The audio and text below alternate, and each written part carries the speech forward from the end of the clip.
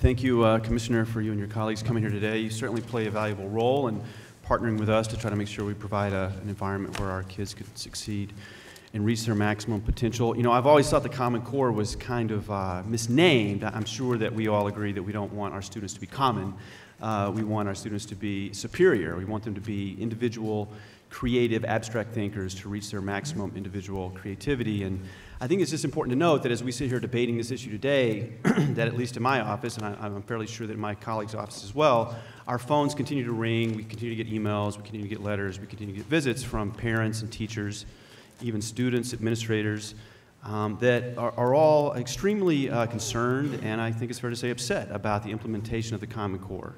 And uh, these are people from uh, you know, all uh, income levels, rich, poor, white, black, Republicans, Democrats, liberals, progressives. Um, the only thing common about Common Core is that it seems to be commonly um, being objected to across the state right now. And I just, I just wonder what, what, with, uh, what would be uh, the difficulty? Um, why not um, step back from this? Allow the teachers and the students and the parents and, and the administrators, all the people that actually have to deal with implementing this, allow them to have some input, allow them to take ownership of this, allow them to be a part of the process. Why not step back, put this on hold, until we can do that and figure out a way to do it properly so that we're not cornering our students at such an early age. Two, two uh, observations. One is that the Common Core was developed with input from educators, not only from New York State, but from all across the country.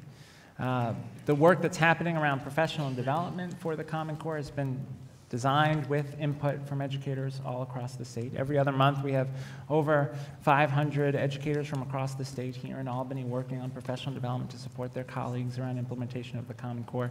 Certainly, implementation looks different in different districts, and we've always acknowledged that the implementation has been uneven, and that is um, inevitable when you try and change standards across 700 districts. Uh, but I don't think it makes sense to go backwards and to retreat from the idea that students should be writing more, that students should be reading more challenging texts, that students should be doing more problem solving in math. Educators across the country strongly support uh, the Common Core standards. Now, there are disagreements around implementation, in particular, disagreements around the relationship between the teacher and principal evaluation system and the work on the Common Core. Sure, and those disagreements, I would, I would argue, are also inevitable when you try to raise standards across 45 states simultaneously. Uh, but I don't think it makes sense to say to the students today, we're, gonna, we're going to ask you to, to uh, do less writing. We're, gonna, we're going to uh, let go back to a set of standards that we all agree weren't getting us where we need to be in terms of college and career readiness. The question really should be how do we best go forward, knowing that this kind of change effort is always going to come uh, with challenges and require adjustments. Well, you know, it's, it's um, it, it, just doesn't feel like from the comments that I'm getting from, from the teachers and the, the supervisors, administrators, the students, the parents, it, it doesn't feel like that there was um, any effort to in, include these important people in deciding how this would be implemented and rolled out. And that seems to be the really core issue here um, that we're all debating over, is that why can't we step back from this, look at a better way to bring all of those people on board, um, that play a vital role in making sure this is successful and incorporate their ideas and thoughts. Um, the teachers right now are, are, really not being allowed to teach, and our students are the worse off for that because our teachers have individual talents that we want our students to be able to take advantage of. The students, um, as individuals, are being put into a corner. We are trying to standardize them in, in a way that just really rebels against everything our country was founded on. Um, it, it seems that while you say you don't want us to move backwards, the failure of implementation is actually moving us backwards.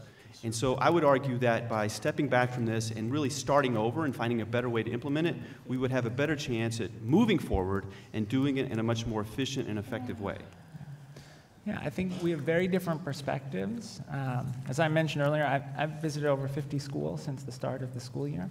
I've talked with thousands of teachers over the last five years as we have moved this work forward.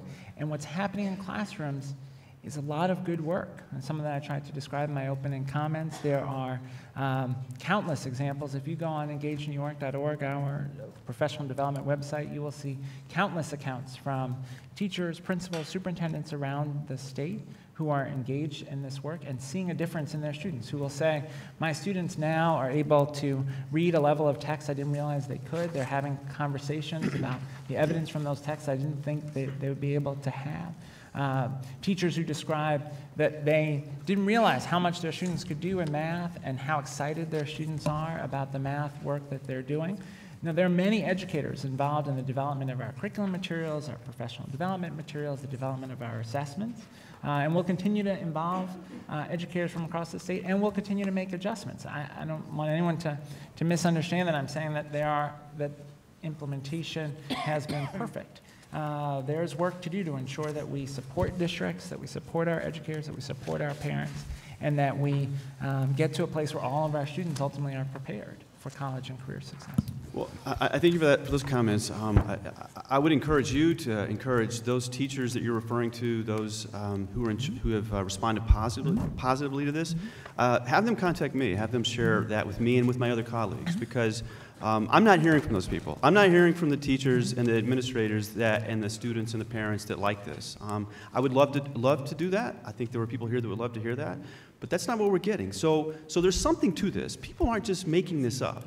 Um, it is a, a diverse array of people that are objecting to the implementation of this, and I think it's worthy, since, since they are the taxpayers funding this program in the first place, um, that we step back and really listen to what they're saying to us. And I hope that as we move forward, that you will, will uh, join me in that effort and pay more attention to those, to those who believe that we are really about to make a, a really um, awful mistake. And I think we have time now to step back, change direction, and make the right choice, and I hope you'll join me in that. Thank you for coming today. Thank you.